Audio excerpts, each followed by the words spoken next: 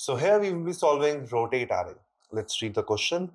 The question here, the question statement says, given an unsorted array ARR, rotate the array to the left, which is counterclockwise direction by d steps, all right? Where d is a positive integer, do the mentioned change in the array in place, okay? That means the array that we are given in the question, we have to make changes in that. We cannot make up a new one and do changes to that one, all right? So let's talk about this rotation, the anti-clock rotation, right? Well, this actually, like uh, most of it, most often it is also known as the left rotation. What happens in it? Let's say if I have to rotate this array, uh, I have to left rotate this array by one. Then what will I do? The element that I have in front will go at the back. You can say in this direction, it will go at the back and every other element would shift just one space on this side, on the left side. Thus, what is this? This is the left rotation. All right. So I hope now the left rotation is clear to you, which you have to perform. But in this question, D is mentioned. That means you have to perform this rotation D times. Now let's see a few sample test cases in which we are performing this.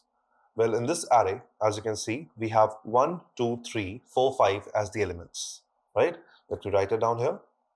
1, 2, 3, 4 and 5. Okay. Now, once we rotate this by 2, that means after one rotation, how would it look like? It would, uh, it would look like this, correct? After one more rotation, it would look like this. Fine. So this is the final answer and you can see it is given here. Now again similar similar examples are given. This time D is changed to 3 and this time D is changed to 9. Okay, what is happening here? you can notice that the length of the array is 4 but you might be asked to rotate the array more than its uh, like more than the times of its length even that is possible because like after a set of rotation once you perform four rotations already in this array which is having uh, which is having the size 4 you will get back to the initial position where you started and then you will again go for left many times and once the rotation is done then you need to return the answer. Okay. You already might have started getting an idea that we are doing uh, like so many unnecessary rotation here. But in the forthcoming approaches, we are going to deal with everything. Don't worry. Okay. So coming on to our very first approach, I've already showed you that uh, how we can rotate one element, or you can say how we can rotate just one time. So once we know that we are rotating the element uh, at the elements one time, it's very simple. Let's say you have the sample array. What you can do, uh, let's say I took a variable and I copied the first element in it. Fine. Then what do I have to do? I have to begin from this point till this, a simple traversal. I will be copying the elements just to the element which is kept next to it on the left side, main on uh, the main thing. Now this would be overwritten by 2, this would be overwritten by 3. Similarly, all of these values will be overwritten. And the last value would be repeated. And now I can just simply, whatsoever I'm holding in the temp, I can replace it with that. So this is how you're performing one rotation, correct? And once you perform this operation d times, you can say that the work is done. The most brute force method of doing this question is this, right? Let's analyze the complexity of a little.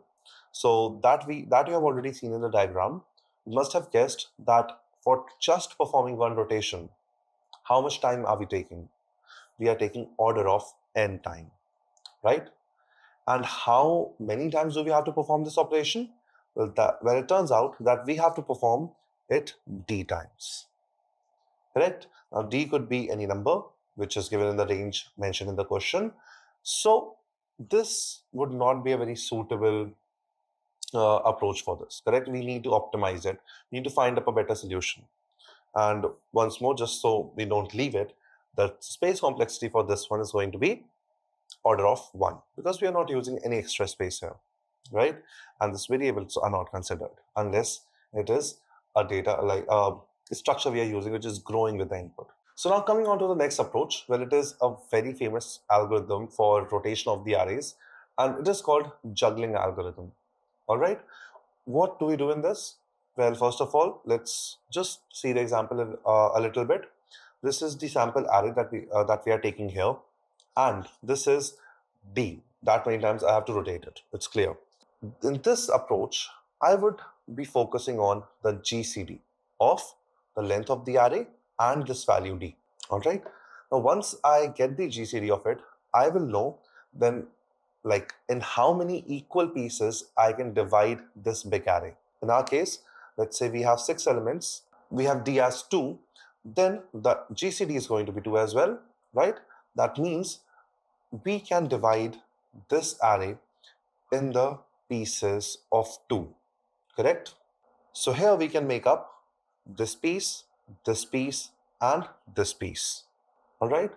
Now, the magic about this algorithm is that once you just shift all the elements, all the elements that you have of these pieces to the next one, well, the complete array would be rotated the way you want it to. Okay. What do I need to do? See it in this diagram and try to notice the pieces. This is the first piece, this is the second, and this is the third. So in just one iteration, what will I do?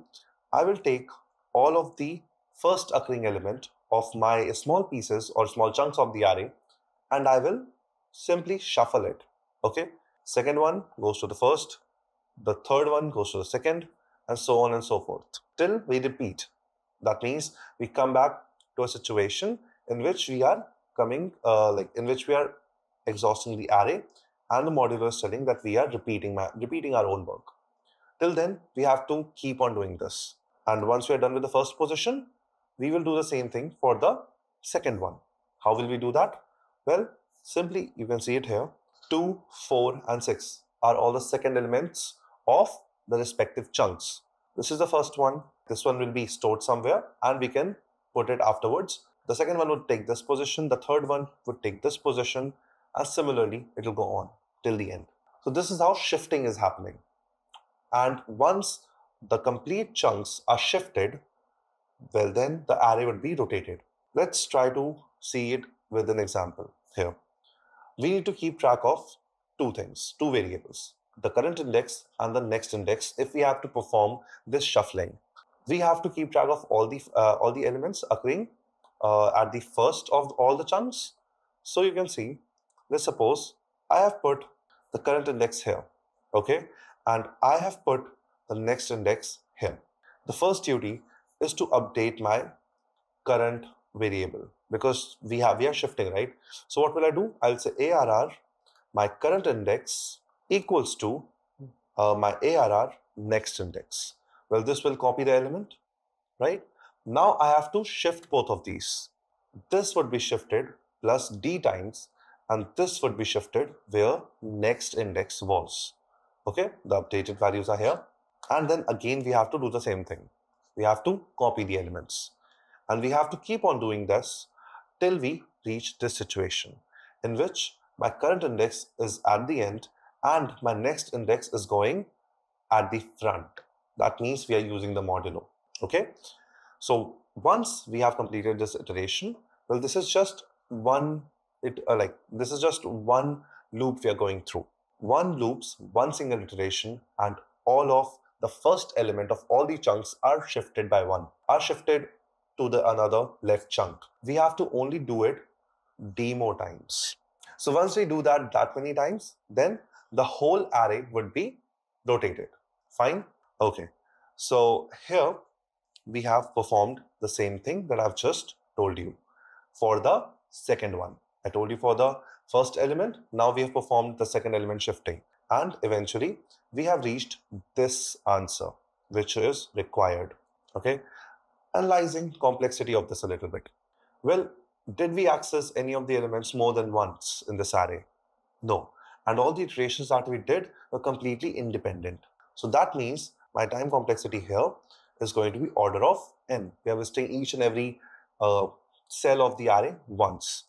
And the space complexity is obviously order of 1 because we are not using any extra space. So this is like quite a fascinating algorithm. You can use it for this problem. Now quickly checking the code for this approach, you can see I've kept the track of n, the size of the array. Then I'm doing this to avoid all the unnecessary rotations that I might have to do when the value of d goes larger than n. Okay. Now I'm calculating the GCD of the n, the length, comma d, because I need to find the size of the chunks in my array in which I have to perform the shifting. Okay. Now you can see I'm performing shifting in this manner. I've done for i in range cycles. That means how many cycles do I need to take?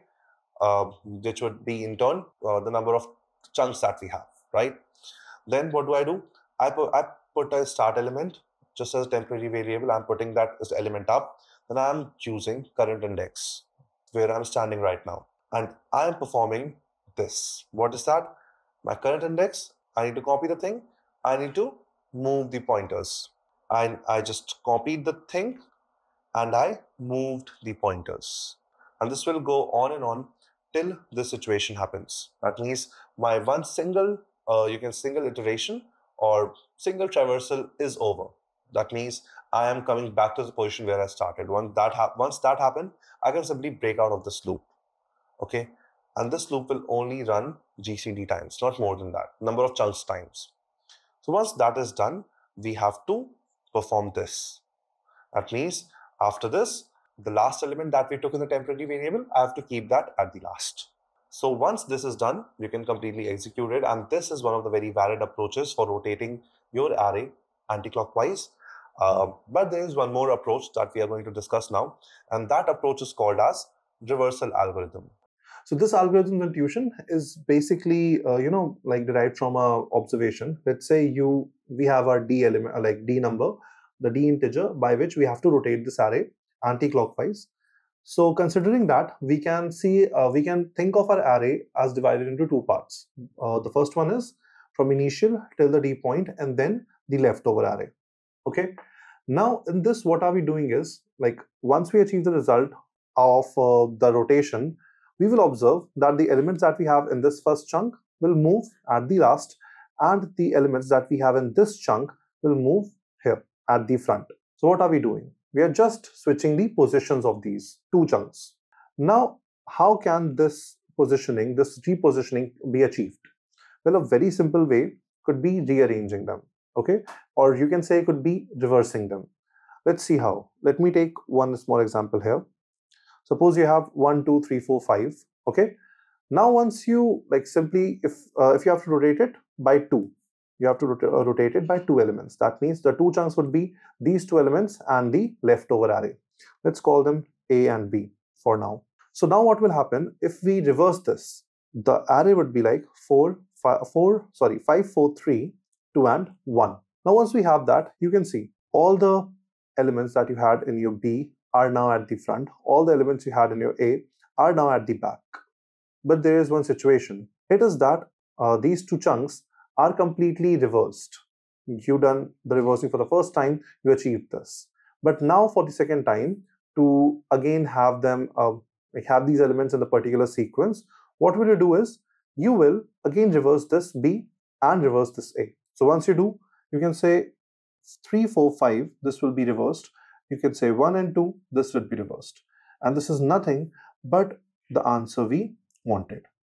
Okay, so performing this sort of reversal will result in our actual answer.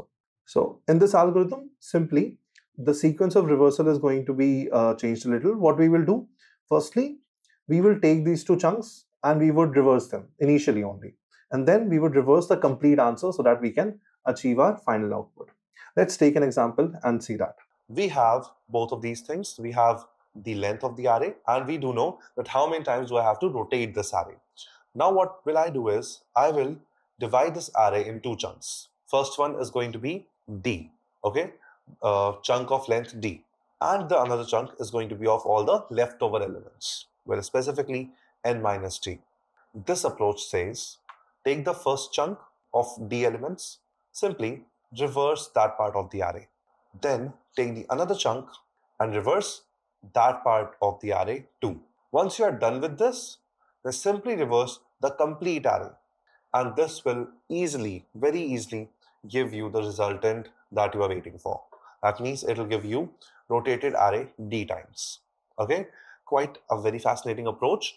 So let's see what is going to be the complexity of it.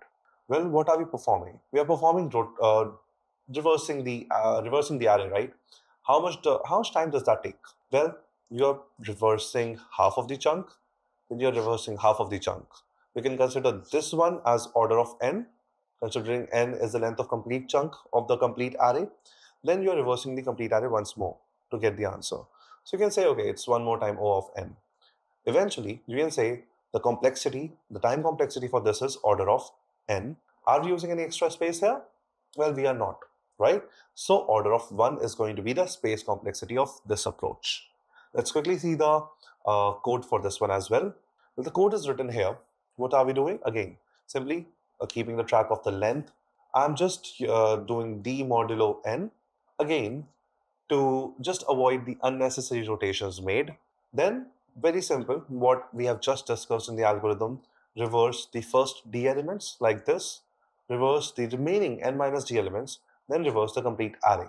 And I've made this a small reverse function which is helping me out in reversing the arrays. Okay, now that we have seen uh, two very good algorithms, the juggling algorithm and the reversal algorithm, let's try to run both of these and see if these both are passing all the test cases or not. So here's the code of juggling algorithm that we just discussed. Let's try to compile and run and, if, and see if it is passing the sample case. Okay, it is giving us the expected output, just like we, uh, we had a dry run of it. Now submitting this problem. Okay, so it is passing all of the test cases. Let's also see the other approach that we have discussed. So this one is the reversal algorithm. Okay, we have already seen the code and this little function reverse, which is helping me to reverse the array compiling the code here and it must give, yeah, it is giving the expected output here as well. Submitting this, we can see that it is passing all the test cases, right? So we have learned about two very useful algorithms for rotation. I hope you have understood it. If you have not, then quickly just rewatch the video and try to do the dry run parallelly. And that would definitely work. And if you like the video and you understood the approach, then do leave me a comment telling me how you liked it and like the video as well. Thanks.